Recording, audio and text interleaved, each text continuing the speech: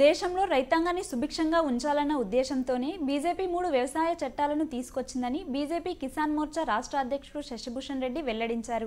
ఆయన అనంతపురంలో మీడియాతో మాట్లాడుతూ విపక్ష పార్టీలు ప్రాంతీయ పార్టీలు కలిసి ఈ బిల్లును వ్యతిరేకిస్తూ రైతులను తప్పుదోవ పట్టిస్తున్నారని ఆయన ఆరోపించారు.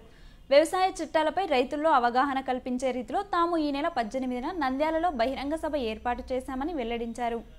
రెండు వేల పద్నాలుగు ఎన్నికల తర్వాత ఎన్డీఏ ప్రభుత్వం అధికారంలోకి వచ్చిన తర్వాత వ్యవసాయ రంగంలో విప్లవాత్మకమైన మార్పులు తీసుకురావడం జరిగింది. ప్రధానమంత్రి నరేంద్ర మోడీ గారు ఏదైతే లాల్ బహదూర్ శాస్త్రి నినాదం జై జవాన్ జై కిసాన్ అనుసరించి అనేక విషయాలలో అటు సై రక్షణ రంగాన్ని బలోపేతం చేయడం జరిగింది. తర్వాత వ్యవసాయ రంగాన్ని కూడా బలోపేతం చేసినట్టయితే అటు దేశం సురక్షితంగా ఉంటుంది దేశం సుభిక్షమవుతుందని చెప్పి ఆయన ఈరోజు అనేక కార్యక్రమాలు తీసుకోవడం జరుగుతుంది. రాబోయే రోజుల్లో ఈ దేశాన్ని సుభిక్షం చేసే విషయంలో ముందుంటుందని చెప్పేసి భారతీయ జనతా పార్టీ తెలియజేస్తుంది. కానీ చాలా దుర్మార్గం. కొన్ని విపక్షాలు కొన్ని ప్రాంతీయ పార్టీలు ఈరోజు ఈ బిల్లులను వ్యతిరేకిస్తూ రైతులను తప్పుదోవ పట్టించే పరిస్థితి మనం చూస్తూ ఉన్నాం. కానీ ఈ బిల్లులు కన అమలైతే రాబోయే రోజుల్లో ఖచ్చితంగా ఈ దేశంలో వ్యవసాయం ఈ దేశ ఆర్థికాభివృద్ధిలో ఇదిమిద్దంగా తోడ్పాటును అందించే విధంగా తయారవుతుంది.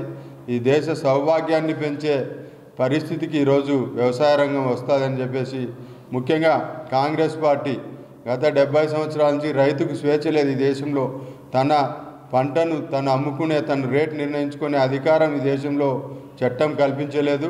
కానీ ఈరోజు ఈ చట్టం ఏదైతే నరేంద్ర మోడీ గారు కల్పించారో ఈ దేశంలో రైతు తన ఉత్పత్తిని దేశంలో ఏ మూలనైనా అమ్ముకునే పరిస్థితి కల్పించారో దానికి అడ్డుపడుతూ ఈరోజు రైతులను మరోసారి మోసగించేదానికి ప్రయత్నం చేస్తోంది.